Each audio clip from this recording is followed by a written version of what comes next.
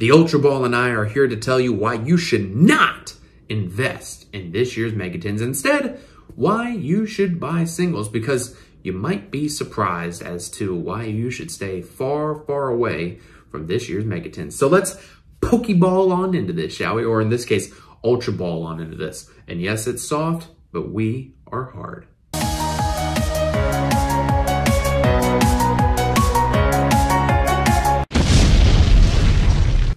That Ultra Ball at that subscribe button so that we can reach our goal of 1,000 subscribers. Ladies and gentlemen, we are currently sitting at 916 subscribers. Whoo, that makes our anus unrelaxed. So smash it so that we can make our holes relax as we hit the 1,000 subscriber mark. It really does mean a lot to me to see all the support. That Mystic Mine deck profile is almost at 10,000 views. Lord have mercy. My, my top three most popular videos are 20, 13, and 11,000 apiece. It is currently fourth place. So thank you all so much for the support. So I want to talk today about why you should not invest in this year's Megatins. And yes, at face value, there is a lot of good cards in these tins. I mean, hell, we're getting fucking Pot of Prosperity, DPE, Dragoons, Droplets, Lightning Storm, you name it. Like your, your grandma's fucking lost dentures that she lost a year ago are in here. Like there's a lot of good shit in this set. But even with all of these good cards in this set, here is the big issue with this. Number one, all of the cards that people consider to be good there's a lot of them. So even if you buy one, two, I hate to say it, even three cases of tins, you may not necessarily get a playset of all the cards that you want. And it's different whenever you have something like a core set, right? Like Power of the Elements, where, you know, Konami says we're not going to short print things in core sets anymore. You know mathematically going into it that you have a high chance when you buy a case of pulling one, and if you're really lucky, two Starlight Rares in a case. Plus, you know, just based upon how core booster set boxes are anyway, you're guaranteed two secret rares in each box, usually. And so something with this that's considered a side set, yeah, you know, you can get the, oh my God, ultra rare Pharaoh printing dildo colored rare. And like, that's cool. But at the same time, if you want those ultra rare Pharaoh printings, you can just buy them on the secondary market once the prices have calmed down. Not on fucking pre-sale. no, that's the other thing too. Do not buy shit from this set on pre-sale. I guarantee you Pot of Prosperities on pre-sale will probably be like 50, 60 bucks. Mark my words, write it down on your calendar that I said this on this day because people are going to try and get the most value that they can on pre-sales. Is that to say that you can't swipe up some good deals on pre-sales? No, it can happen, but I personally have been burned several times with doing pre-sales. I highly recommend that you stay away from it.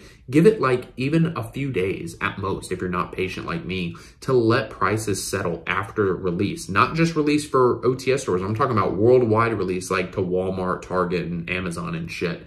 Then you start picking up cards. Then you start getting the things that you need until the prices, you know, really dwindle down and relax their anuses. Um, so in situations like this where you do have a lot of good cards in a set, it's better to just pick up singles and play sets of things that you need. Because if you've got raw dog shit luck like I do in this game, unless you're buying core sets like I do where I, I'll buy cases from time to time, then my luck's actually pretty solid. Um, you will get play sets of cards that are considered good in the meta, but that you don't necessarily need. Like, you know, branded openings a secret rare. With my luck, I'm going to buy a 10, and instead of pulling Pot of Prosperity, that's also a secret, I pull a fucking branded opening. Branded opening is a good meta card, but I don't need branded opening. So it's better to just wait for the set to release worldwide and just pick up the singles that you need. Even things that are lower in value, like the Flunder stuff that all pretty much everything that was common is now a hollow at this point. You know, if you want to play like max rarity Flunder, just have everything hollowed out, just wait until the set comes out or trade form, get the homie hookup, you know, do things like that. Do I think overall that like, let's say sealed cases are going to go for a lot of money, like how I think it was like what the 2020 or 2019 tins are right now, like they're what, 600 for a case? There is the possibility for that. Uh, I mean, there's always the possibility for that, I feel, with more good reprint sets than others. You know, you look at something like Legendary Duelist, like dog shit from the deep. booty booty butt cheeks from the deep, right? Where like you can literally pick up boxes for what, like $30 a piece or something? Like that set fucking, it flopped like a fish on the deck. I guess that's why fish sonars were so hard to pull because they knew that the set was just going to be fish out of water dog shit. Like what's good in that set? Honor Art Ghost Rare, okay, that's $20. Forbidden Droplets, that's what, 30 to 40?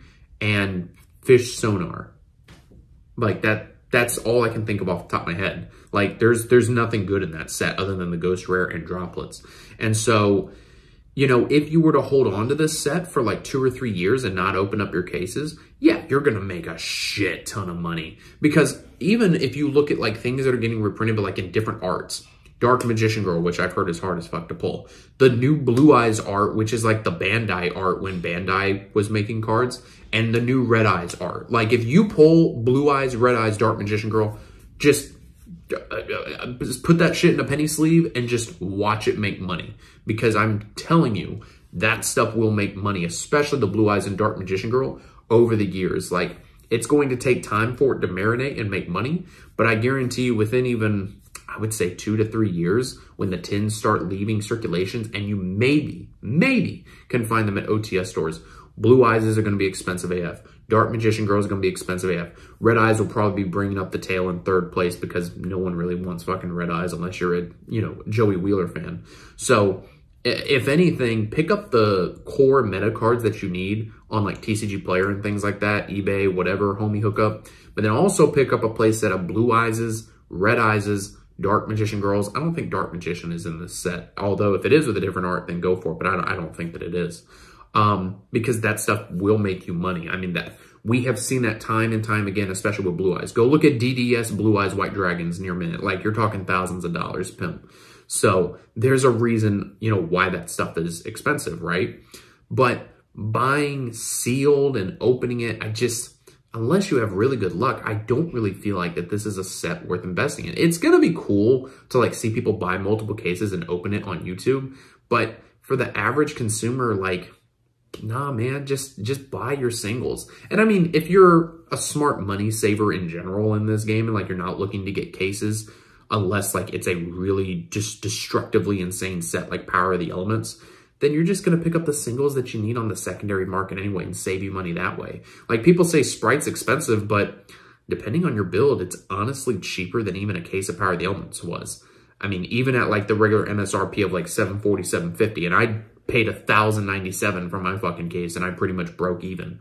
So, guys, what do you think in the comments down below? Please let me know. I love reading your responses, love reading your comments because I think that the tins have a lot to offer between the Egyptian God support, and I'm sure that they're going to reprint the Egyptian God cards in the tins. If they don't, then it's fine. They have a million printings at this point anyway.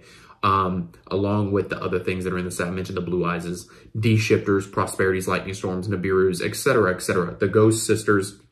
There is a lot of value in this set, but with all of those good cards, those, what, what the hell did I say? I'm tired, I'm sorry. With all of those good cards, with ev with this set being packed with a lot of good cards, that doesn't necessarily mean like you just buy a case or two and you're going to pull everything that you need. And I think in a situation like this where you do have a lot of good cards, it's a good set, don't get me wrong, you are better off buying the singles that you need or just buying a play set of, of just every meta card that you want because you're going to be able to get it for cheap anyway, especially whenever everybody else is opening it and pulling it and, oh my God, I pulled this card. Anyway, I think that singles are just always going to be the way to go, period.